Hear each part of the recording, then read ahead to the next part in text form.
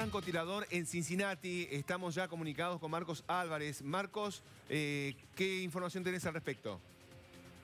Hola Guillermo, buenos días. Nuevamente tenemos que hablar de un tiroteo masivo en los Estados Unidos.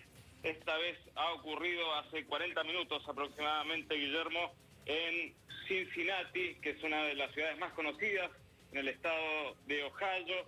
Eh, básicamente el evento ocurrió en el edificio del, del, del Fifth Third Bank, en pleno centro de esta ciudad en Cincinnati. Los primeros reportes, Guillermo, están hablando de que habría al menos dos muertos y cuatro personas heridas de gravedad. Los reportes también están indicando que al menos cuatro personas ya han sido ingresadas en el hospital de la Universidad de Cincinnati, que está cerca de la zona. Según eh, algunas fuentes policiales, el agresor habría sido detenido, pero todavía la escena se está tratando como eh, una escena activa, porque eh, los investigadores siguen investigando justamente lo que está sucediendo allí para descartar que no haya otro tirador. Los, las personas que estuvieron en el lugar dicen haber escuchado al menos ocho disparos y que la situación se habría comenzado en el lobby de este edificio que es muy conocido porque queda cerca de una fuente muy conocida allí en Cincinnati y luego se habría trasladado a la zona de carga del edificio. Repetimos, esta es una noticia en desarrollo, hay una escena activa de un nuevo tiroteo masivo aquí en los Estados Unidos, Guillermo. Eh, entonces, en relación al tirador, había una versión que indicaba que lo balearon, que está muerto. Otra versión que está detenido. ¿Vos tenés algo al respecto?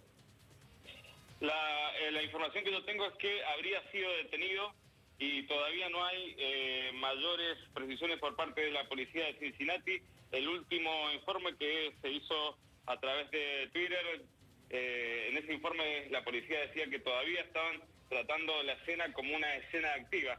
Esto siempre se hace, Guillermo, aunque ah, la situación esté bajo control o esté contenida, como te decía recién, porque lo que se trata de hacer es dejar el edificio siempre este es un edificio muy grande y cuando ocurren en este tipo de lugares lo que se trata de hacer es dejar la escena bien clara para descartar que eh, el tirador esté trabajando junto a otra persona y que haya otro tirador que aún continúe activo dentro del edificio o para tratar de eh, detener a algún sospechoso que tenga que ver con lo que ha ocurrido. Una vez que se ha revisado cada milímetro, esto es por protocolo ya en los Estados Unidos y obviamente se debe a la cantidad de hechos similares que ocurren. Pero por protocolo las eh, eh, fuerzas de seguridad investigan milímetro a milímetro los edificios para que una vez que hayan terminado esa tarea poder decir que el edificio o el lugar o la cena están bajo control y están clear, que significa que están limpias, que no, no hay ningún motivo para pensar que se puede volver a repetir